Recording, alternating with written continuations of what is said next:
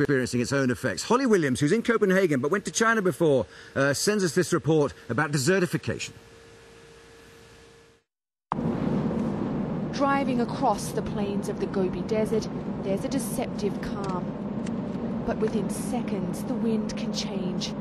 And suddenly, you're in the eye of a sandstorm. 20 meters visibility,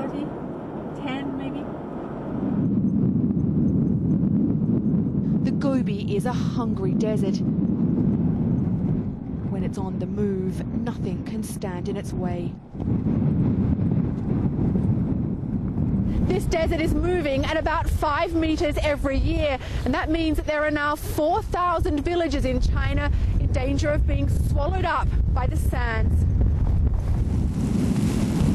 Five meters doesn't sound like much, but it adds up to an area the size of Kent, lost to the Gobi every year.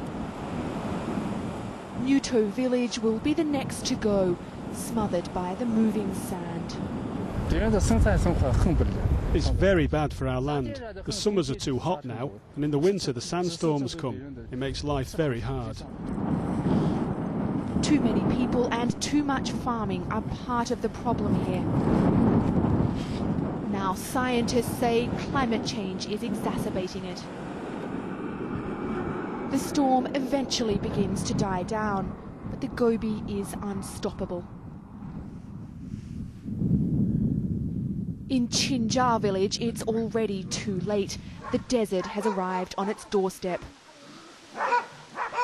They've tried planting trees to try to hold back the dunes.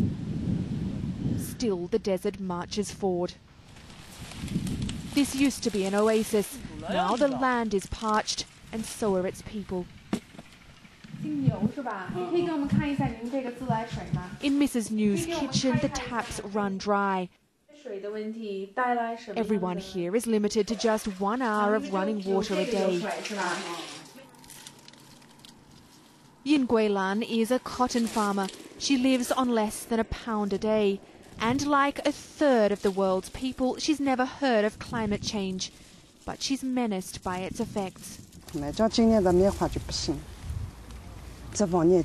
This year, the cotton didn't grow properly, and our profits were wiped out. The sandstorms came through here and destroyed our crops. They might not know it, but for some of the world's poorest people, a changing climate isn't something that could happen in the future.